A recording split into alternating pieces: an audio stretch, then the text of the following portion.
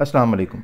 ये असफाट डाली जा रही है, यानी कि मटेरियल फिर उस मटेरियल को चेक किया जाता है कि ये मटेरियल तीन इंच, चार इंच, जितना एस्टीमेट में लिखा हुआ है, उतना डाला गया है या उससे कम डाला गया है। और इस असफाट का टम्परेचर भी होता है। 130 से लेकर 140 तक है। अगर 110 आ जाए तो उसको नहीं डाला जाता, वो फिर वापस करवा दी जाती है।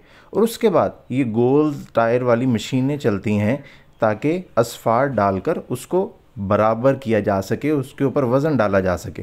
ट्रैफ़िक वालों को मिला जाता है, ट्रैफ़िक के रूट्स को चेंज किया जाता है ताकि आने वाले लोगों को परेशानी ना हो। फिर तरह तरह की इस पर मशीनें चलाई जाती हैं ताकि इसके जो असफाट डाली गई है, वो असफाट बिल्कुल बराबर हो जाए।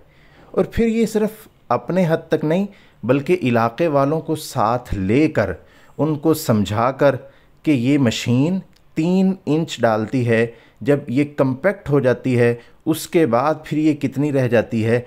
इस बात को समझाना होता है हर दुकानदार को, अपने वहाँ के कौंसलर हजरात को, ज़िम्मेदारान को, कारकुनान को और साथ रहने वाले मुंसलिक जो दुकानदार हैं, उनको इसकी तरफ़ तवज्जो दिलाते हैं कि सबसे पहला फ़ायदा आपको है, नुकसान आपको है। हम हों, न हों, जहाँ पर भी काम ख़राब हो यह आपका हक है कि आप काम को फौरी बंद करवाएँ और हमें सिर्फ़ इत्तला दे दें।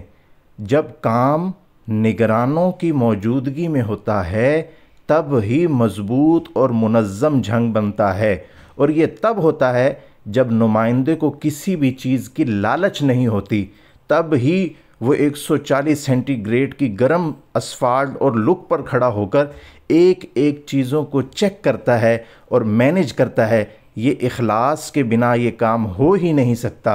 अल्लाह के फजल से झंग अयूब चौक तक ये काम हो चुका है और झंग अयूब चौक की तजीन व आरइश भी शुरू है और इसका नाम रखा जाएगा हज़रत अबू अयूब अंसारी रज़ी अल्लाह तन नबी पर जो लुटवा के पिदर आया आया, बेखौफ खतर आया एक शेर